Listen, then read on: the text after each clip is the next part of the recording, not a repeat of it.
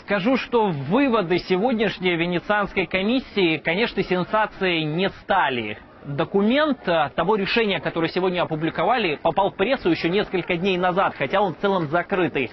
Сегодня, по сути, его просто озвучили, внеся только одно изменение, скорее дополнение. Критика там действительно очень существенная. Отмечу, что глава Венецианской комиссии Джани Буккикио лично после заседания вызвался дать нам комментарий. Вот предлагаю послушать, что он сказал. Окончательное решение Венецианской комиссии таково. Закон негоден. Документ нужно пересмотреть и изменить. Необходимо избежать политизации закона. Он не должен стать инструментом мести политическим оппонентам. Люстрация должна проходить в строгом соответствии с Конституцией Украины и европейскими стандартами. Нельзя люстрировать людей, которые когда-то имели отношение к Компартии. И это одно из ключевых замечаний. С тех пор прошло 20 лет. А, то же самое касается и чиновников чиновников, которые работали при Януковиче. Здесь отметили, что люстрация а, может касаться только тех чиновников, которые несли угрозу демократии или нарушали права людей.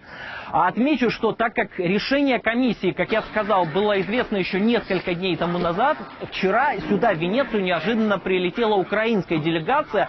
В целом это не запрещено, но вот как сказали мне в разговорах представители комиссии, практика, ну, мягко говоря, не принята. Тем более прилетели сами авторы закона вместе с министром юстиции. Кстати, скажу, что Павел Петренко пытался здесь объяснить юристам, насколько этот закон важен для Украины. И вот во время выступления украинские делегаты отметили, что ни закона о возобновлении доверия к судьям, ни закона о люстрации судей, по сути, в Украине не работают. И поэтому провалить закон о люстрации власть просто не может. Вони змінили риторику з критики на запитання, на яких багато відповідей ми надали вже вчора. І ми отримали дійсно дуже конструктивну позицію замість розгромлення. Еще утром министр, кстати, в интервью нам и другим агентствам заявил, что якобы переубедил комиссию, что всю критику убрали, замечаний больше нет. Но скажу, мягко говоря, это совершенно не так. На самом деле все наоборот. Глава Минюста умолчал, что решение по сути, добавили только одним пунктом. Венецианская комиссия просто предложила нам помощь в устранении всех тех проблем, которые здесь озвучили.